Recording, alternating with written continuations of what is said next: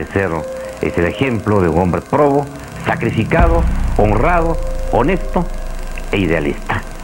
Fue presidente constitucional porque fue elegido por el pueblo. Si bien es cierto que inició una revolución, él dejó el poder en manos de una junta militar. ¿Cómo era Sánchez Cerro? Era un predestinado del cielo, era, para él era muy importante que fuera de extracción indígena,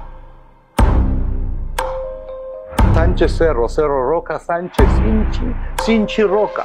Se refiere a que en algún momento dado llegó una embajada hacia la llama de indígenas nobles a Lima, ¿no? Y que vinieron para decirle que en realidad eh, Sánchez Cerro significaba en quechua Sinchi Roca y que venían para anunciarle que él era la nueva encarnación del Inca.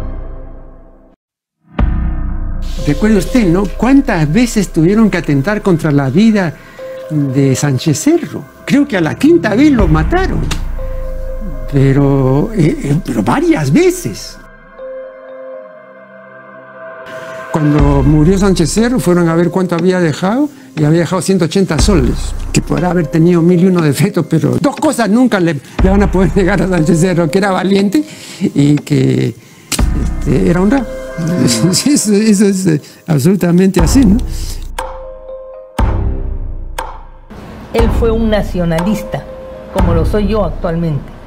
Un nacionalista porque todos los peruanos somos nacionalistas. Desde el momento que queremos a nuestro Perú, somos nacionalistas.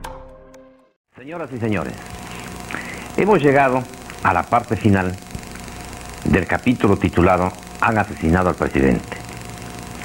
Pero, ¿quién asesinó al presidente? Hay unanimidad. Fue Adelardo Mendoza Leiva. Pero, ¿quiénes estuvieron detrás de Adelardo Mendoza Leiva? ¿Pudo él solo ser el autor de este atentado? ¿Tuvo cómplices? En el caso afirmativo, ¿quiénes fueron? Aquí comienza el misterio cuando se trata de dar respuesta a estas preguntas que yo me formulo y que ustedes están formulando en este momento.